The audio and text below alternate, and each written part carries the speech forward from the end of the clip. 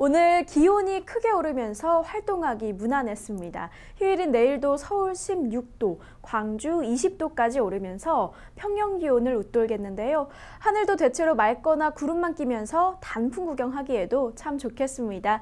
한편 동해안 지역은 비나 눈 소식 있습니다. 강원 영동과 경상 동 해안에 5에서 30mm의 비가 예상되고요. 상대적으로 기온이 낮은 강원 높은 산간에는 2에서 7cm의 눈이 쌓이는 곳도 있겠습니다. 있습니다.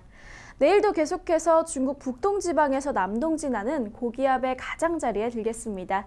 아침 기온 서울 11도, 대구 10도 예상되고 춘천, 강릉은 8도 가리키며 비교적 낮겠습니다. 한낮에는 서울 16도, 전주 19도, 부산 16도 등 온화한 날씨가 이어지겠습니다.